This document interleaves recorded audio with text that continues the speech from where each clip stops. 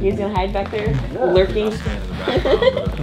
I'm basically dressed as a stripper, vodka, bro. Oh, nice. That's my necklace. Who did your makeup? It looks awesome. Me.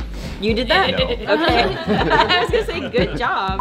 Hey Springfield, I'm Amy with Springfield After Hours and we are here live at the Deitra Sci-Fi Runway Fashion Show with some of the models for tonight's event.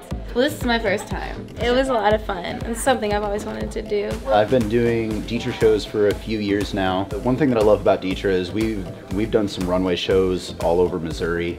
Uh, Deitra always seems to have a theme though. It's very organized and kind of focused.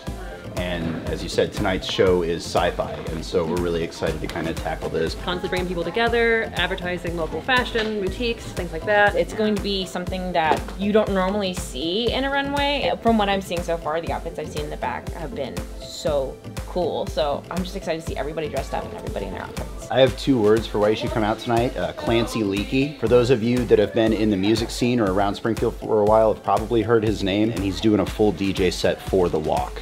So that's kind of a big deal. I mean, he's a local legend as far as music goes.